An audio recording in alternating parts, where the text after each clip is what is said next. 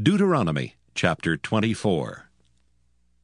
When a man hath taken a wife and married her, and it come to pass that she find no favor in his eyes because he hath found some uncleanness in her, then let him write her a bill of divorcement, and give it in her hand, and send her out of his house. And when she is departed out of his house, she may go and be another man's wife. And if the latter husband hate her, and write her a bill of divorcement, and giveth it in her hand, and sendeth her out of his house, or if the latter husband die, which took her to be his wife, her former husband, which sent her away, may not take her again to be his wife, after that she is defiled.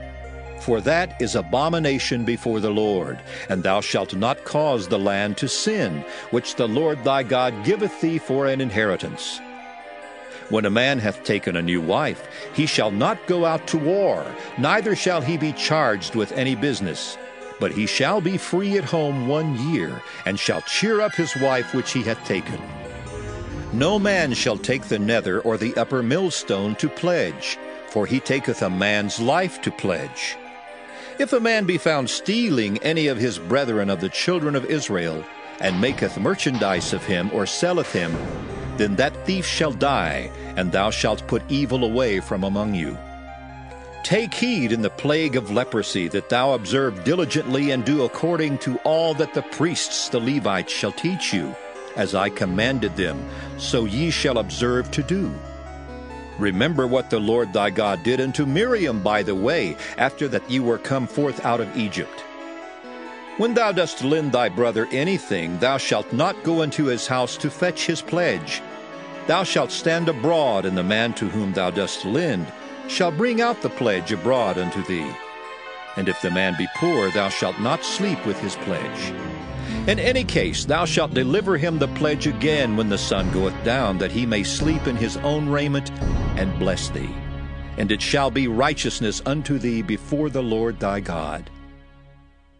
Thou shalt not oppress an hired servant that is poor and needy, whether he be of thy brethren or of thy strangers that are in thy land within thy gates. At his day thou shalt give him his hire. Neither shall the sun go down upon it, for he is poor and setteth his heart upon it, lest he cry against thee unto the Lord, and it be sin unto thee.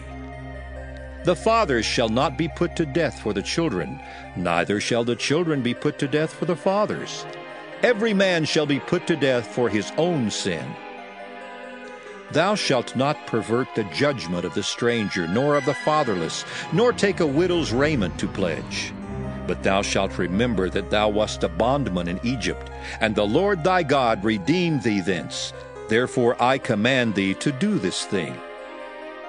When thou cuttest down thine harvest in thy field, and hast forgot a sheaf in the field, thou shalt not go again to fetch it, it shall be for the stranger, for the fatherless, and for the widow, that the Lord thy God may bless thee in all the work of thine hands. When thou beatest thine olive tree, thou shalt not go over the boughs again. It shall be for the stranger, for the fatherless, and for the widow. When thou gatherest the grapes of thy vineyard, thou shalt not glean it afterward. It shall be for the stranger, for the fatherless, and for the widow. And thou shalt remember that thou wast a bondman in the land of Egypt. Therefore I command thee to do this thing.